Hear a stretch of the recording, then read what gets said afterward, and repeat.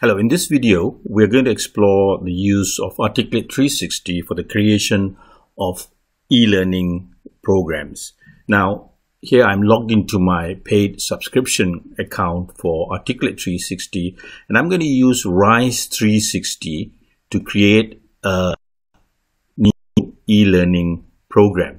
Now, Rise 360 is a web based software of the suite of Articulate 360 that helps you to create rapid courses. Here are some of my courses. So we're going to create a new course. I'm going to click on that, a new course, and I'm going to use a blank course. And once you click on that, it starts to prepare you for the basic space that you need for the creation of the course.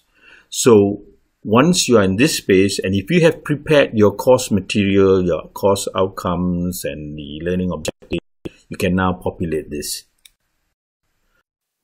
So what we're going to do here now is to populate the uh, course with data that I have already uh,